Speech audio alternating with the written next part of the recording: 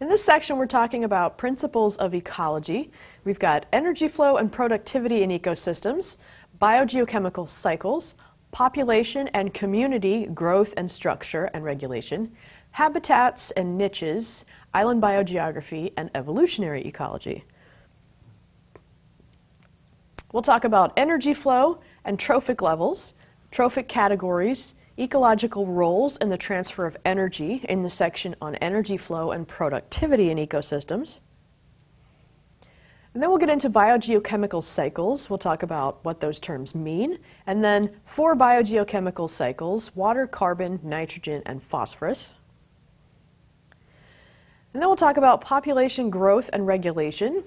We'll have an introduction. We'll do limiting biotic and abiotic factors, density and demography and growth. Then we'll talk about community structure, growth, and regulation, including competition, symbiosis, and succession.